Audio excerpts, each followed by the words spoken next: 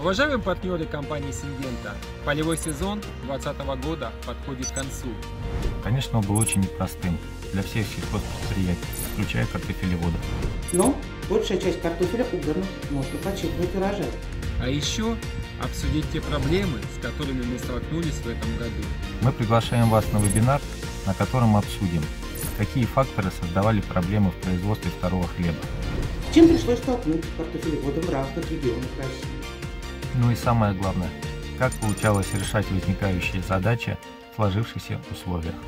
Мы также проанализируем, какие риски ожидают производителей в следующем сезоне. У участников вебинара будет возможность задать вопросы экспертам. Ждем вас на вебинаре. До встречи!